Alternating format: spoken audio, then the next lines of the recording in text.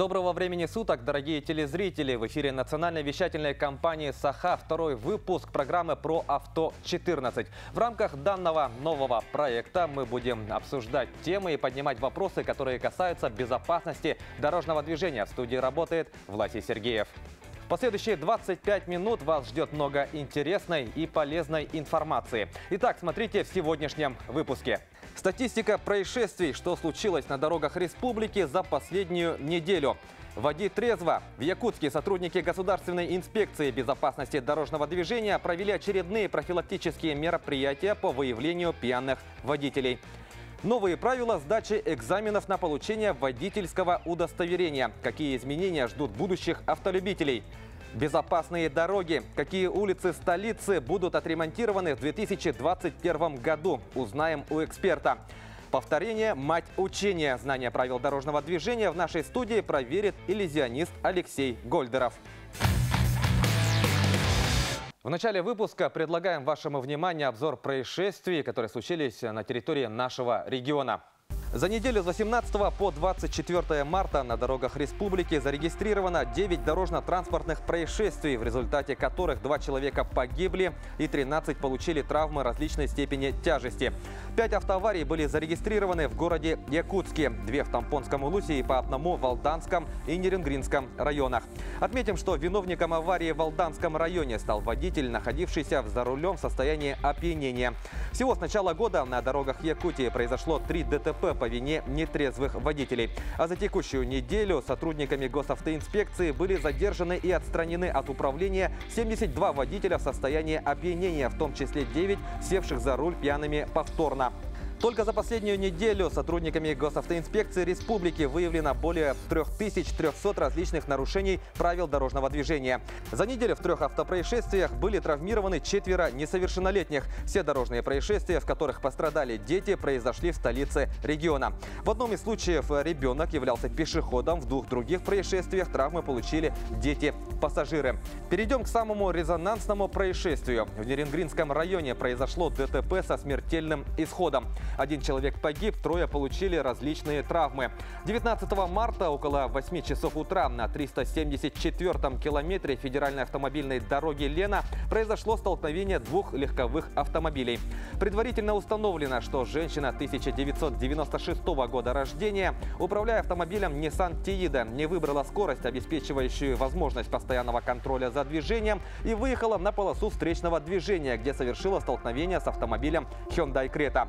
В момент аварии в салоне японского кроссовера находились два пассажира, один из которых получил травмы, несовместимую с жизнью. Женщина-водитель с тяжелыми травмами была доставлена в реанимацию. Второй пассажир и водитель Hyundai с различными травмами были госпитализированы в местную больницу. Для установления всех причин и обстоятельств трагедии материалы переданы в следственные органы. Госавтоинспекция напоминает, что неправильный выбор скорости движения, а также превышение установленного скоростного режима являются наиболее частыми причинами совершения дорожных аварий.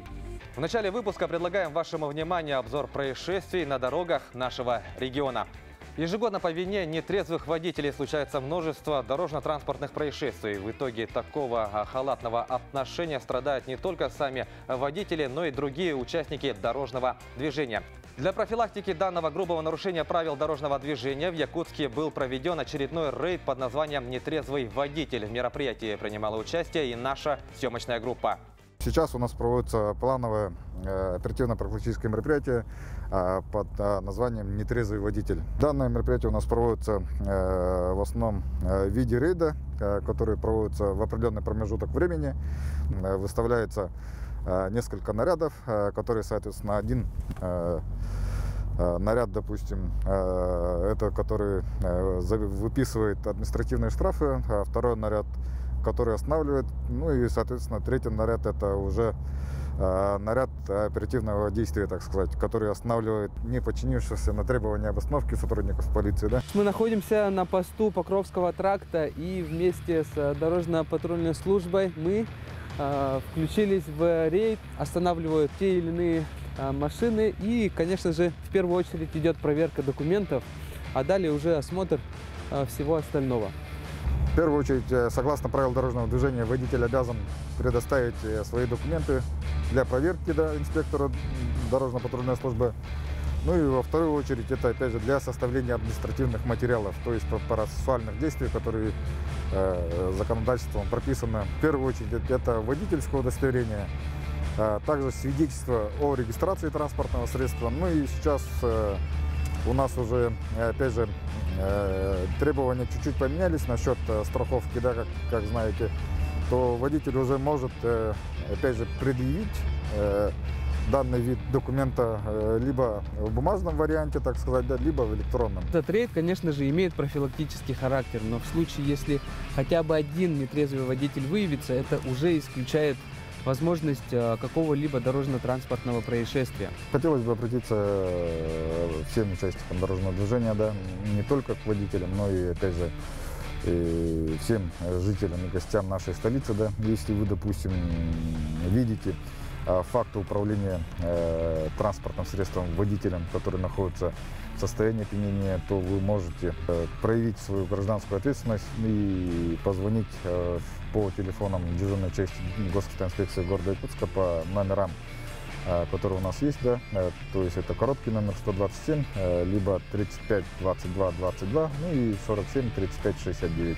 Итоги нашего рейда оказались более чем положительные. Каждый автомобиль, который автотрудники ДПС остановили, а, не выявил ни одного нетрезвого водителя, что очень радует. Будьте бдительны на дорогах и всегда контролируйте то, что вас окружает. С 1 апреля в силу вступают новые правила сдачи экзаменов на получение водительского удостоверения. О том, какие изменения ждут будущих автолюбителей, смотрите в следующем материале. 20 февраля 2021 года министром внутренних дел Российской Федерации Владимиром Александровичем Колокольцевым подписан приказ номер 80, который утверждает административный регламент Министерства внутренних дел Российской Федерации по предоставлению государственной услуги по проведению экзаменов на право управления транспортными средствами и выдачи водительских удостоверений. Административный регламент вступает у нас в действие с 1 апреля. И в основном изменения коснулись практической части экзамена именно управление непосредственно транспортным средством. По старому регламенту практическая часть экзамена состояла из двух частей, то есть включала в себя а, проверки, проверку первоначальных навыков управления на площадке закрытой и управление кандидатом водителей транспортным средством в условиях дорожного движения.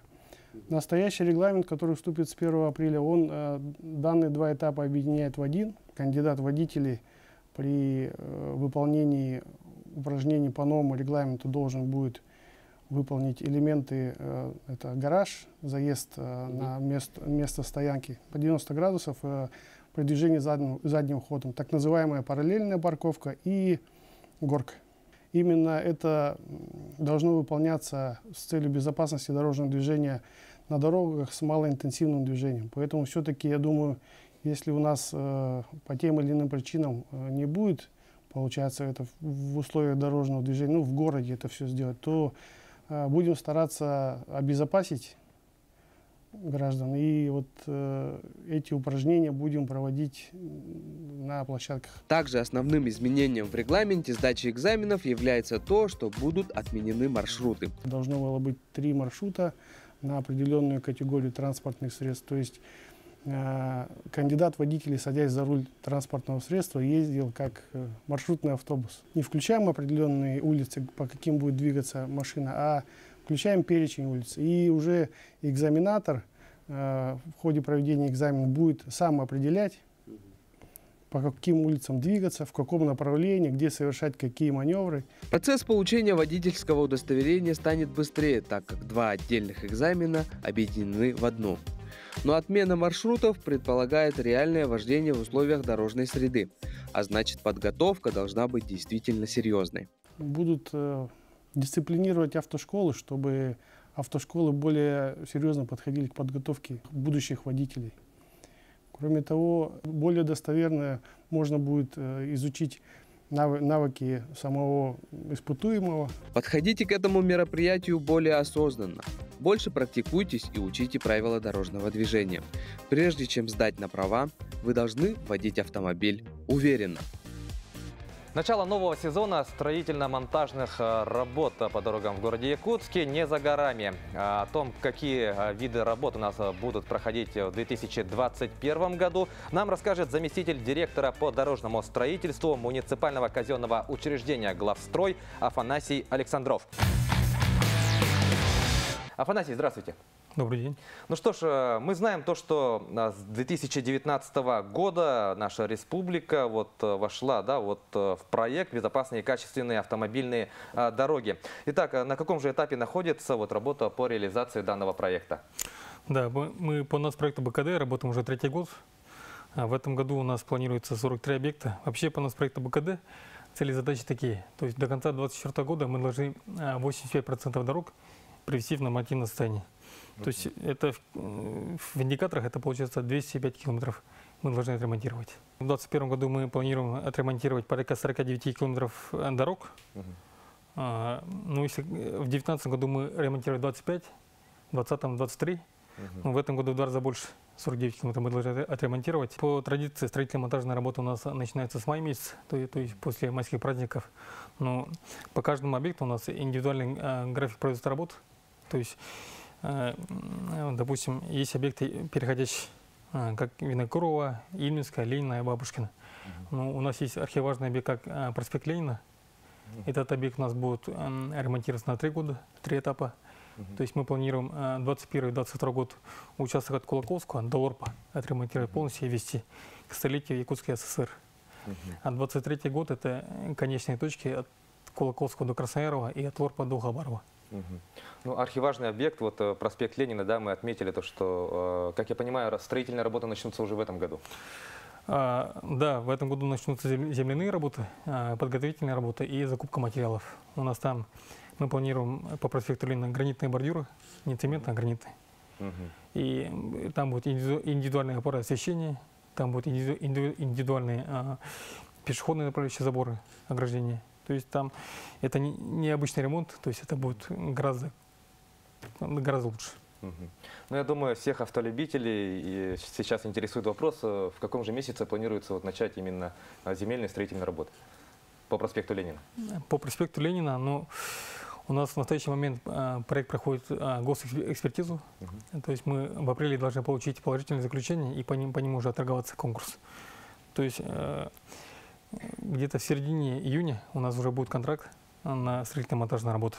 В мае вот, э, планируется начать э, ремонтные работы. С каких же вот объектов э, начнем в этом Ну, году? Мгм. Э, Порядка 20 объектов у нас это объекты текущего ремонта. Это объекты находятся в пригородах. Это Кангаласы, Хатасы, Тулагина, Амаган. По этим, работам, э, по этим объектам мы планируем уже с мая, с после майских праздников приступить уже ну, к строительным монтажным работам, к земляным работам. А Что касается э, городских дорог, это у нас э, Пирогова, авиационно-Жуковского. Мгм. То есть у них уже, у них уже есть э, разработанный график производства работ. По ним у нас ну, тоже с мая планируется.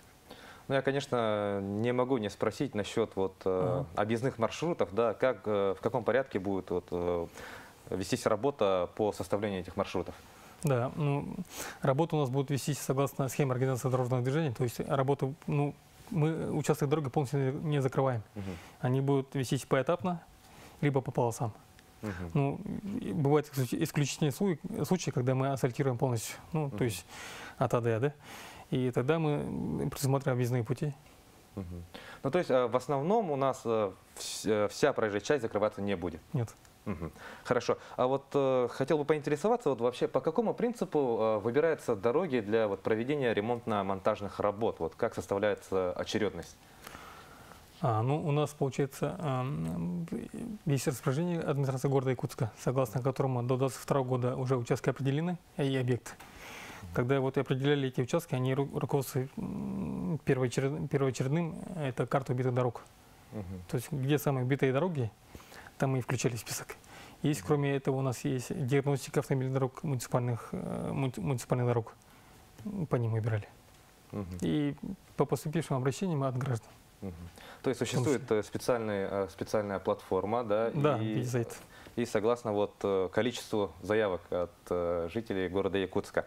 А, ну что ж, и есть еще а, такой вопрос. Вот пандемия коронавирусной инфекции вот, коснулась абсолютно все сферы и как бы изменила да, нашу повседневную жизнь. А вот как же отразилась пандемия на деятельности а, вашего учреждения? Вот с какими трудностями столкнулись и а, какая работа по вот, исправлению этих а, трудностей сейчас ведется? Ну, пандемия напрямую на, на нас отразилась, конечно. Ну, на нас, как заказчика, она тоже отразилась. Ну, мы ни одного дня там на удаленку не уходили. Ну, она э, больше всего отразилась на, на, наших, на наших подрядчиков. Так как границы были закрыты, э, работники не, не успели завести. Ну, спасибо большое на- нашему стройотряду. То есть в основном у нас, э, у наших подрядчиков работали студенты со стройотрядов. Мгм. Они очень сильно нам помогали. Выручили, да, в тяжелый, э, в трудный Да. момент. Но... Ну и напоследок э, такой вопрос, вот как дела обстоят с подрядчиками вот в 2021 году? Скоро вот мы уже анонсировали, что начнем, возобновим нашу а, работу. И какова ситуация? Ага, ну, как ранее сказалось, 43 объекта. Мгм. Из них 11 уже подписаны контракты. По 11 объектам у нас есть подрядчики. А 20 объектов мы уже объявили на конкурс. По ним тоже будут участники. То есть будем надеяться, что ни один объект без подрядчика не останется. А, ну еще я думаю, вот э, всех автолюбителей, э, наших телезрителей, да, вот интересует э, следующее, вот где можно ознакомиться вот с планом э, работ, вот чтобы как-то рассчитывать э, свой маршрут передвижения по городу? Ага, ну, у нас на, офици- на официальном сайте окружной администрации города Якутска есть сайт Якутск РФ. И там опубликован план ремонта ОДС 2021-2022 года. Мгм. Туда можно зайти и посмотреть. То есть там все подробно расписано? Там все подробно расписано, объекты какие, участки какие, Мгм. индикаторы по ним. Хорошо, дорогие телезрители, возьмите себе на заметку. Есть э, специальный сайт, э, специальная вкладка да, на сайте администрации города Якутска, где вы сможете подробно ознакомиться с планом а, ремонтных работ. Итак, Афанасий, благодарим вас за то, что нашли время и посетили нашу студию. Мы желаем вам успехов э, в реализации всех поставленных целей на 2021 год. Ну а мы, дорогие друзья, идем далее.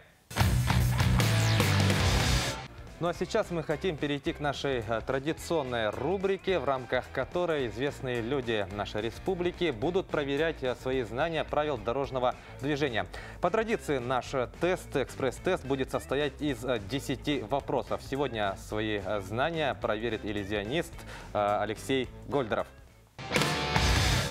Вопрос номер один. По какой траектории вам разрешается выполнить поворот налево? Только по А, только по Б, по любой из указанных. Но как- когда я вижу эту картинку, э, сразу ощущается, что надо ехать по А. Да? Но я там вижу уже какие-то дорожные знаки. Ну, не как какие-то, но я вижу там дорожные знаки. Но в жизни, когда человек уже едет по одностороннему движению, он сам автоматически перестраивается по траектории Б. Вопрос номер два. Что должно иметь решающее значение при выборе водителем скорости движения в темное время суток? Предельное ограничение скорости, установленные правилами, максимальная конструктивная скорость, установленная технической характеристикой используемого транспортного средства и условия видимости. Тут я не могу ни в коем случае сказать по ответу номер два. Я не могу ехать 200 км в час.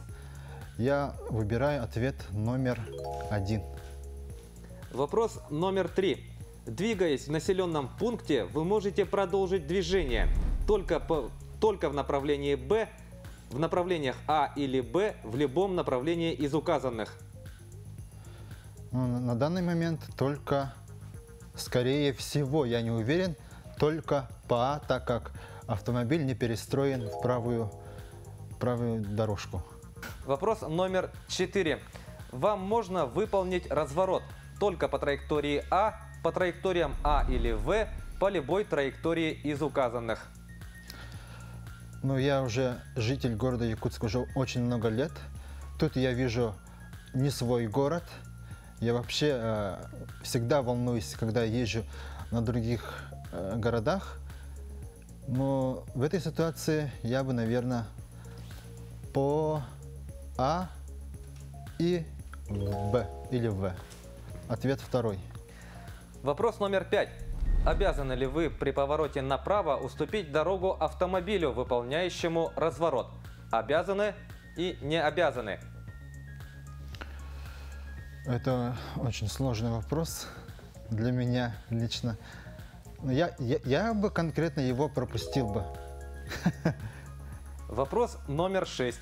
Какое расстояние проедет транспортное средство за время, равное среднему времени реакции водителя при скорости движения около 90 км в час? Примерно 15 метров, примерно 25 метров и примерно 35 метров. 90 км в час это очень быстро. Наверное, до 35 метров. Вопрос номер семь. В каких случаях владелец легкового автомобиля может передавать управление этим транспортным средством в своем присутствии другому лицу, имея страховой полис обязательного страхования гражданской ответственности на бумажном носителе или в виде электронного документа, либо его копии на бумажном носителе? При наличии у этого лица водительского удостоверения на право управления транспортным средством под категорией Б1 при наличии у этого лица водительского удостоверения на право управления транспортным средством категории «Б» в обоих перечисленных случаях. Ответ номер три в обоих перечисленных случаях. Вопрос номер восемь. Разрешено ли вам выполнить разворот на мосту по указанной траектории? Разрешено. Разрешено только при видимости дороги не менее 100 метров. Запрещено. Я думаю, на мосту это запрещено. Вопрос номер 9. С какой скоростью вы имеете право продолжить движение в населенном пункте по правой полосе? Не более 40 км в час, не более 60 км в час, не менее 40 км в час и не более 60 км в час. Но я бы не рискнул, я бы поехал не более 40 км в час. Но из- из-за того, что человек едет медленно, вроде не штрафует. Вопрос номер 10. При какой неисправности тормозной системы запрещается эксплуатация транспортного средства? Не включается контрольная лампа стояночной тормозной системы. Стояночная тормозная система не обеспечивает неподвижное состояние транспортного средства с полной нагрузкой на уклоне до 16% включительно. Уменьшен свободный ход педали тормоза. Очень сложный вопрос. Какой-то еще и с подвохом, и ответы такие какие-то длинные сразу. Ехать, не ехать. Я бы вообще не поехал, если у меня неисправная тормозная система. Наверное, скорее всего, второй. Я бы вообще не поехал, если у меня что-то неисправно. А, Добрый день. А, Мне было очень интересно наблюдать, как вы решали э, заданные вам вопросы. И, конечно, у меня есть кое-какие замечания.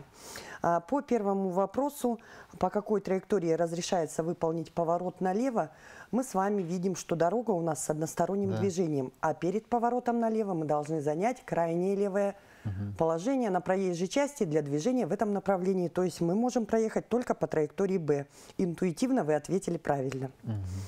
Так, Спасибо. во- во втором вопросе. Что должно иметь решающее значение при выборе водителем скорости движения в темное время суток?